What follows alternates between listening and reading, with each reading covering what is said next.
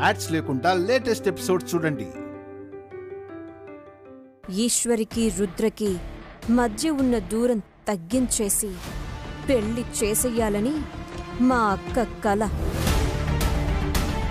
అది అసలు విషయం. కలలే కదా. కననివ్వు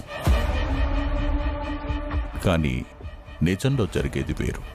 ఎందుకంటే వాళ్ళ కోరికను నేను నెరవేరనివ్వను కదా. ఏం చేయబోతున్నావు కేడి?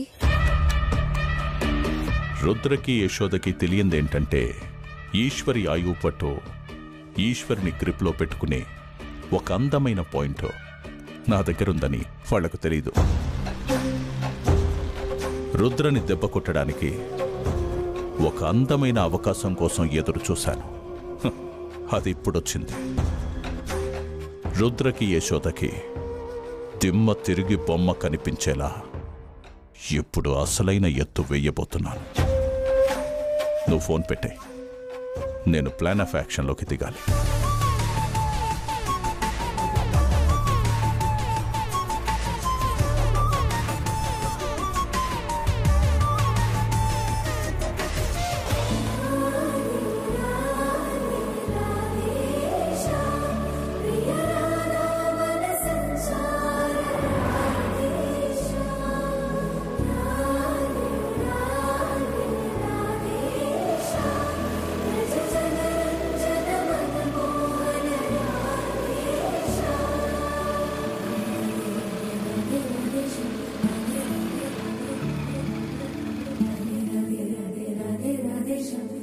రుద్రగారికి చెప్పే థ్యాంక్స్ ఏదో ఒక బొకే ఇచ్చి చెప్తే బెటర్ కదా?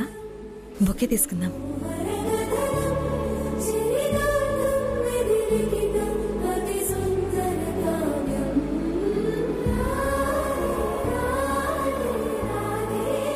ఆ, ఏమండి ఆ బొకే ఎంతండి? అది థౌజండ్ మేడం ఇది సెవెన్ హండ్రెడ్. ఆ, ఇది? ఫైవ్ హండ్రెడ్ మేడం ఇప్పుడే కట్టాను. సరే ఇది ఒకటి ఆ, ఇదిగోండి మేడం తీసుకోండి.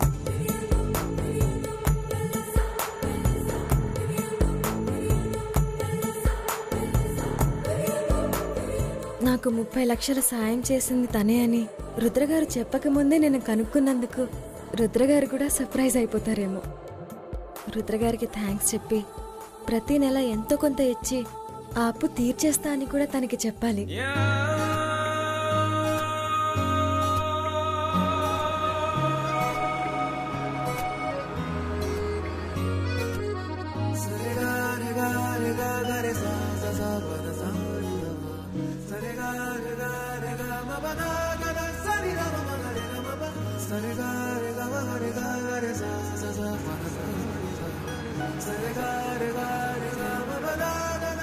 రుద్ర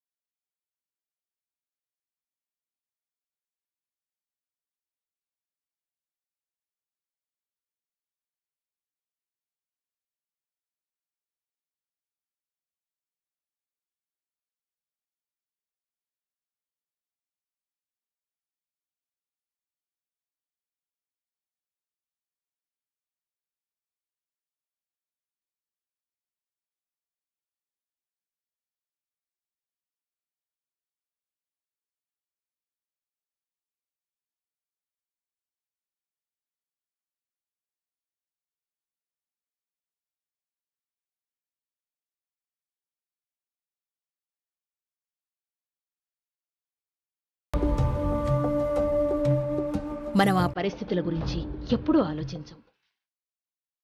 కళ్ళకి కనపడే నిర్ణయాల గురించే ఆలోచించి జడ్జి చేసేస్తూ ఉంటాం.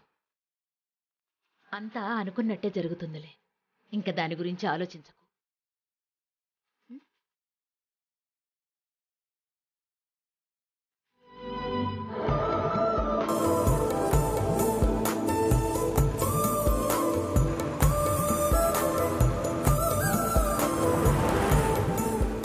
రుద్రగారులా ఉన్నారే?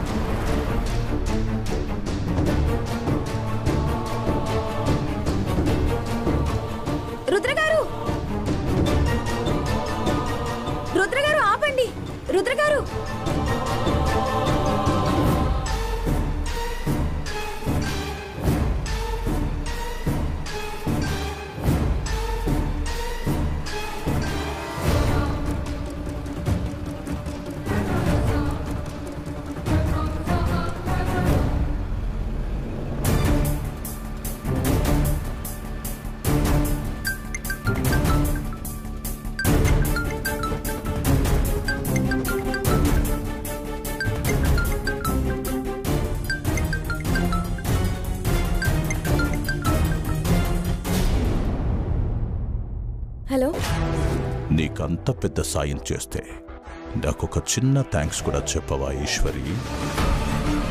ఏ- ఏం సాయం గురించి మాట్లాడుతున్నారు? నువ్వు వీర్రాజుకి ఇవ్వాల్సిన అప్పు గురించి అది తీర్చడానికి నేనిచ్చిన ముప్పై లక్షల గురించి.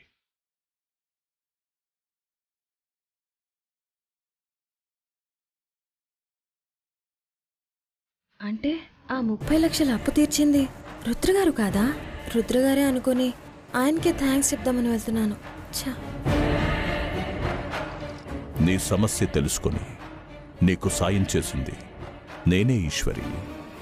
వీరాజ్ బాబాయ్కి ముప్పై లక్షలు ఇచ్చింది మీరా? అవును.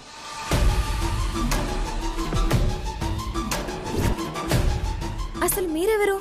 మీరెవరో తెలుసుకోవాలని మిమ్మల్ని కలవాలని మీకు థ్యాంక్స్ చెప్పాలనే నేను తెగ తాపత్రయపడుతున్నాను. ఇంతలో మీరే ఫోన్ చేశారు. నువ్వు నిజంగా నన్ను కలవాలనుకుంటున్నావా? సాయం తీసుకొని మర్చిపోయినట్టు ఉండలేను కదండి. మీరింత పెద్ద సాయం ఎందుకు చేశారో నేను తెలుసుకోవాలి. ఆ డబ్బుని ప్రతి నెల వాయిదాల పద్ధతిలో మీకు నేను తిరిగి ఇవ్వాలి. దానికోసమైనా మీరు ఎవరో తెలుసుకోవాలి. మిమ్మల్ని కలవాలి. నీ జెన్యూనిటీ నాకు నచ్చింది. ఇంతకీ మీరెవరో చెప్పనే లేదు. తినబోతూ రుచెందుకు. నేను లొకేషన్ పంపిస్తాను. నేరుగా అక్కడికొచ్చి సరేనండి.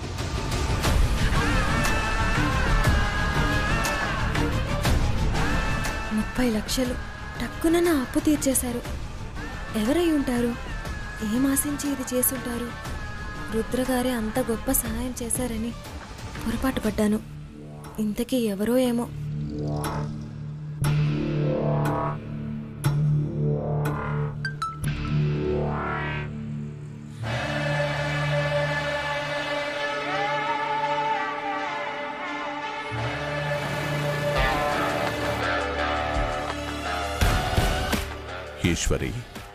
రా రా.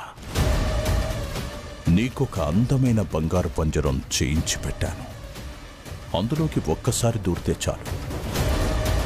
ఇక ఎప్పటికీ బయటికి వెళ్ళకుండా పకడ్బందీగా ఏర్పాటు చేశాను. ఆ రుద్రకి నీకు ఒక శాశ్వతమైన దూరం సృష్టించబోతున్నాను. రత్నాంగి అడిగిన ఈ చిన్న కోరికను నెరవేర్చబోతున్నాను. Ratnangi you will be happy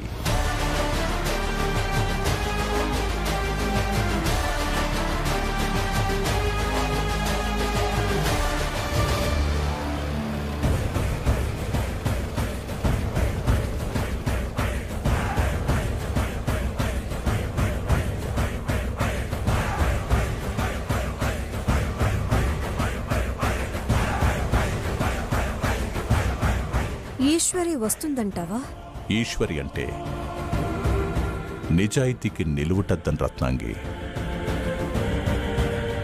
తనకు సాయం చేసింది ఎవరా అని తెలుసుకోవడానికి ఈశ్వరి తప్పకుండా వస్తుంది. ఈశ్వరి మీద నాకు తప్ప అందరికీ పాజిటివ్ ఫీలింగే. ఎందుకో? కొన్ని జీవితాలు అంతే రత్నాంగి. పాజిటివిటీకి పుట్టినిల్లులా పుడతారు. ఈశ్వరి కూడా అలాంటి జాతికి చెందిందే.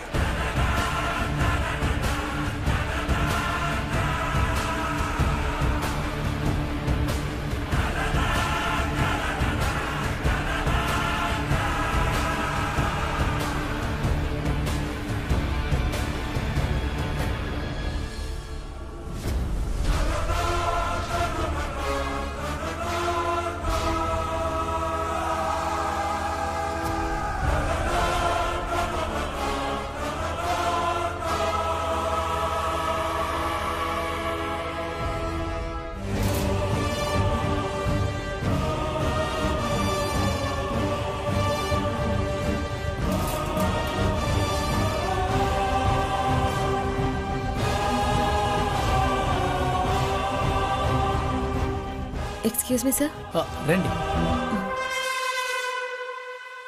మీకోసం మా సార్ వెయిట్ చేస్తున్నారు.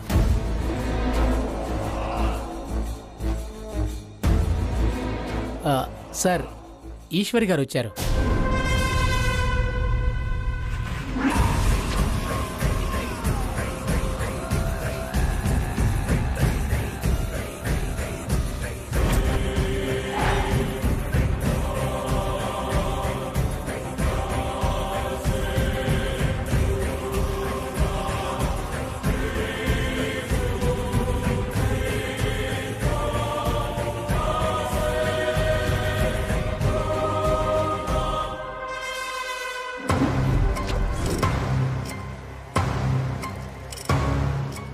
కేడి గారు?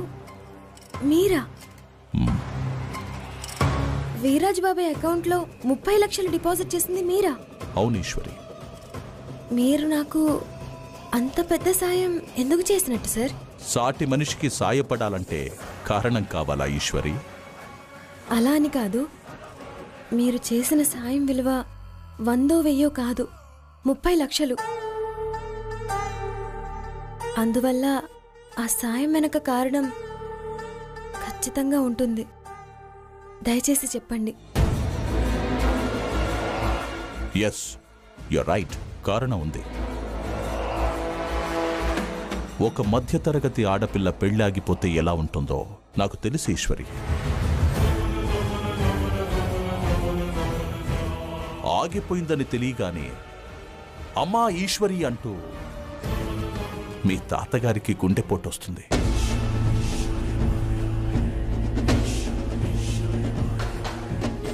ఎంత పనైంది ఈశ్వరి? అంటూ మీ నానమ్మకి పక్షవాతం వస్తుంది. బాధలో గట్టిగా ఏడ్చి ఏడ్చి మీ పెద్దమ్మకి గొంతు పోతుంది. ఇదంతా చూసి మీ పెదనాన్నకి మతిస్థిమితం తప్పుతుంది. ఇన్ని దారుణాలు జరగకుండా ఉండాలంటే ఒకే ఒక్క ప్రాబ్లం సాల్వ్ చేస్తే సరిపోతుంది. ఒక గ్రేట్ షెఫ్ అని నీ మీద నాకు రెస్పెక్ట్ ఉంది ఈశ్వరి. అలాంటి గ్రేట్ షెఫ్కి అన్యాయం జరగకూడదని నేను ఈ హెల్ప్ చేశాను. మీరు నా పెళ్ళి ఆగకుండా జరగాలని ఇంత ఆలోచించారు. కానీ మంచికో చెడుకో నాకు తెలియదు సార్. ఆ దేవుడు నా పెళ్ళ ఆపేశాడు. Very pity. నా ప్రయత్నం అంతా వృధా అయిపోయింది. లేదు సార్. నేను వీరాజ్ బాబాయ్కి అప్పు తీర్చలేదన్న కారణంతో పెళ్ళి ఆగనందుకు నాకు మీ వల్ల మేలే జరిగింది. నా గురించి నా కుటుంబం గురించి అంతగా ఆలోచించినందుకు చాలా థ్యాంక్స్ కేడి గారు. సాయం విలువ చాలా ఎక్కువని నువ్వే అన్నావు కదా ఈశ్వరి. అంత విలువైన దానికి ఇంత చిన్న థ్యాంక్స్తో సరిపెట్టేస్తావా ఈశ్వరి?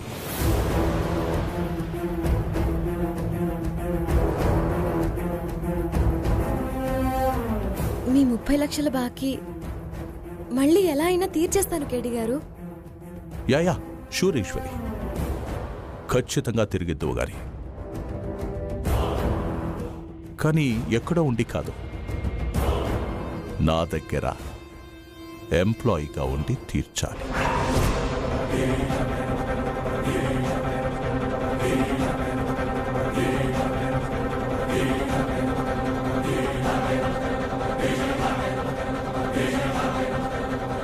నేను కొత్తగా పెట్టబోయే హోటల్లో నీకు చీఫ్ షెఫ్గా ఆఫర్ ఇవ్వబోతున్నాను. ప్రతి నెల రెండు లక్షల జీతం. అందులో ఒక లక్ష నాకివ్వాల్సిన ముప్పై లక్షల కోసం కట్ చేసుకుంటాను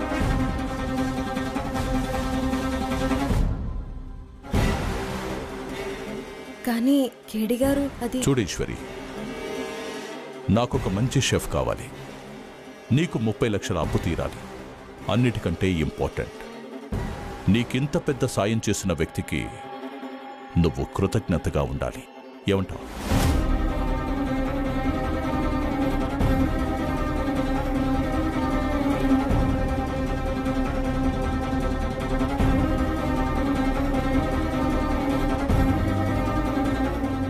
నీకు సాయం చేసిన నాకు ప్రతి సాయం చేయాలనుకుంటే ఈ అగ్రిమెంట్ పేపర్స్ మీద సంతకం చే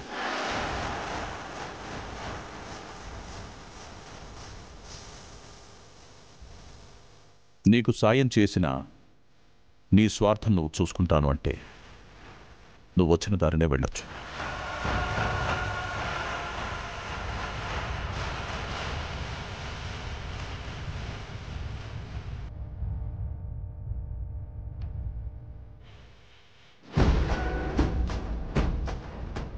నాకు తెలుసు ఈశ్వరి నువ్వంత స్వార్థపరురాలివి కాదు. నీకు రూపాయి ఇస్తే పది రూపాయల ప్రతిఫలం ఇచ్చే మనస్తత్వం నీది. అలాంటి నీ పరువుని నీ జీవితాన్ని నిలబెట్టే ఇంత గొప్ప సాయానికి విలువివ్వకుండా వెళ్ళిపోతావని నేను అనుకోను అద్భుతమైన ఆఫర్ నాది. అది యాక్సెప్ట్ చెయ్యాలా వద్దా అనే నిర్ణయం నీది.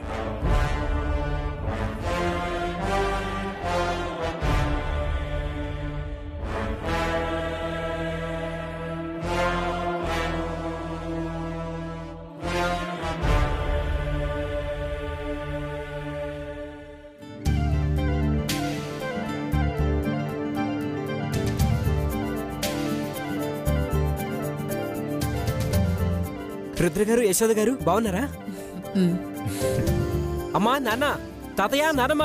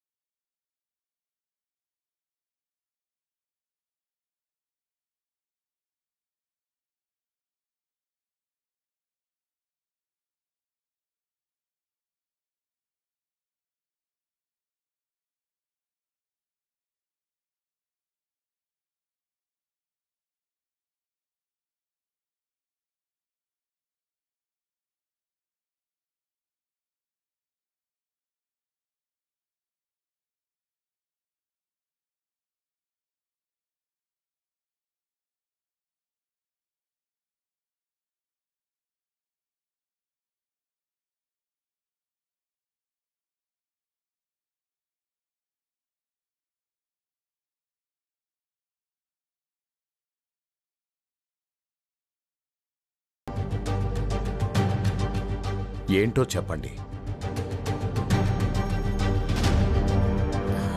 ఈశ్వరి లేదా? బయటికి వెళ్ళిందండి. ఓ అవునా? మరేం లేదండి. మేం చెప్పబోయే విషయం మీ అందరి సమక్షంలో డైరెక్ట్గా ఈశ్వరితో మాట్లాడాలని. ఎందుకంటే ఈ విషయంలో ఆలోచించాల్సింది నిర్ణయం తీసుకోవాల్సింది ఈశ్వరే కాబట్టి.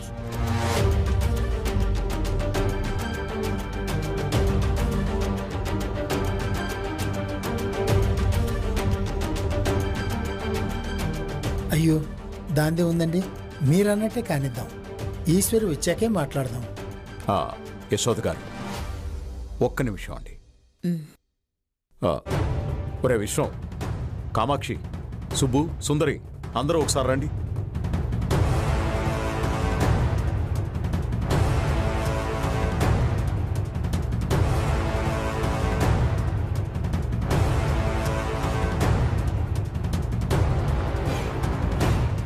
ఏంటి నాన్న? ఏంటి అత్యవసర సమావేశం? గతంలో ఒకసారి యశోదాదేవి గారు పెళ్ళి సంబంధం మాట్లాడడానికి వచ్చారు కదా. అప్పుడు మనం కాదన్నాం. ఇప్పుడు ఈశ్వరి పెళ్ళి చెడిపోయింది. అందుకే ఇప్పుడు మళ్ళీ ఈశ్వరిని అడగడానికి వచ్చినట్టున్నారు.